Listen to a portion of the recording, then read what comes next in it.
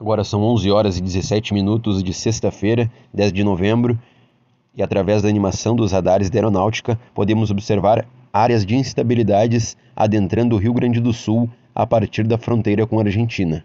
Estas áreas de instabilidades têm potencial para chuvas fortes, descargas elétricas e temporais com granizo. Nas próximas horas, estas instabilidades se espalham por toda essa faixa do noroeste do Rio Grande do Sul, que inclui a região de São Borja, Porto Xavier, Alegrete, Santiago, São Francisco de Assis, Jari, Capão do Cipó, parte de Tupanciretã, Santo Ângelo, São Paulo das Missões, Giruá e demais municípios da região.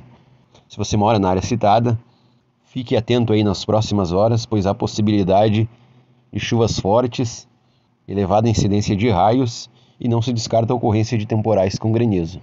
Estas áreas de instabilidades elas se deslocam em direção a sudeste, portanto, ao longo do dia, afetando municípios aí do centro-sul e sul do estado.